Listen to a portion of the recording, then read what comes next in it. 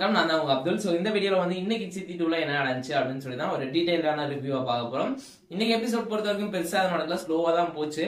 லாஸ்ட்ல வந்து ஒரு இனிமேல் வர எபிசோடுக்கான ஒரு ட்விஸ்ட் மாதிரி வச்சிருந்தாங்கன்னு சொல்லலாம். ஸோ ஸ்டார்டிங் வந்து எப்பயும் போல அந்த மாடையா பேசியிருக்காங்க. சுப்லக்ஷ்மியும் சரி வெண்பாவும் சரி. அதுக்கப்புறம் வந்து சுப்லக்ஷ்மி நடராஜன் போய் அவங்க லோன் கேட்டா அதுக்கும் வந்து தர முடியாது. உங்க ஆபீஸே வந்து ஏலத்துக்கு வரப்போகுது. நீங்க போய் வேற வழியை பாருங்க அப்படின்னு சொல்லிட்டு அனுப்பிச்சு விட்டுறாரு அண்ட் அந்த ஏலம் நியூஸ் வந்து கேட்டனே வந்து மல்லிகா வந்து ஒரு ரியாக்ஷன் கொடுத்துருப்பாங்க சந்தோஷமா. ஏதோ வந்து சின்ன குழந்தைங்களுக்கு சாக்லேட் கொடுத்த மாதிரி அப்படியே வந்து செம்மையா சிரிச்சு ஓடி வருவாங்க டிவி பக்கத்துல. பார்த்துட்டு சந்தோஷமா இருக்கு இந்த ஏலத்தை வந்து நம்ம எடுத்து அவளை வந்து இன்னும் கொஞ்சம் அசிங்கப்படுத்துறோம் சுப்லட்சுமி அப்படின்னு சொல்லி தர்மாட வந்து சொல்லியிருப்பாங்க. தர்மா வந்து எப்பயும் போலவே மைண்ட் வாய்ஸ் தர்மா மாதிரி யோசிக்க ஆரம்பிச்சிருவாரு. இதை எப்படியாச்சும் வந்து வெண்பாவை எடுக்க வைக்கணும். வெண்பாவை எடுக்க வச்சு கவினை வந்து அந்த கம்பெனி நடத்த வைக்கணும் அப்படின்னு சொல்லிட்டு பிளான் பண்ணுவாரு எப்படியாச்சும் அவர்கிட்ட வெண்பாட்டை வந்து ஒரு முப்பது கோடியை கொடுத்து அந்த ஏலத்தை எடுத்து வைக்கணுமே அப்படின்னு சொல்லிட்டு யோசிச்சு இருப்பாரு அதை யோசிக்கும் போது எனக்கு ஆடியன்ஸா எனக்கு என்ன தோணுச்சுன்னா முப்பது கோடியை கொடுக்கறதுக்கு ஒரு ஒரு கோடியை கொடுத்தா அந்த சபதத்தை முடிச்சுட்டு வீட்டுக்குள்ள வந்துருவா வெண்பா. சோ இது தெரியாம முப்பது கோடி எடுத்துக்கலாம் கொடுக்க போறீங்க அப்படின்னு சொல்லிட்டு ஒரு பக்கம் வந்து தோணுச்சு.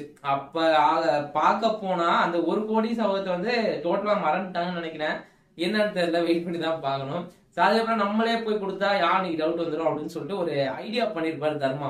அந்த ஐடியா என்ன ஐடியானே தெரில ஏன்னாச்சுன்னா தண்ணியை கொட்டி விட்டு அந்த இடத்த வந்து தண்ணி ஆயிரும். கௌரி போய் தொடச்சிருப்பாங்க ஸோ அப்போ வந்து தூக்கத்தில் வளர்ற மாதிரி இது மாதிரி முப்பது முப்பது கோடியை கொடுத்தா நீயாச்சும் கம்பெனி ஆரம்பிச்சிருவேன் அப்படின்னு சொல்லிட்டு வளருவாரு. யாருதான் இந்த தூக்கத்துல வந்து வளர்னா வந்து ஒண்ணுமே புரியாது.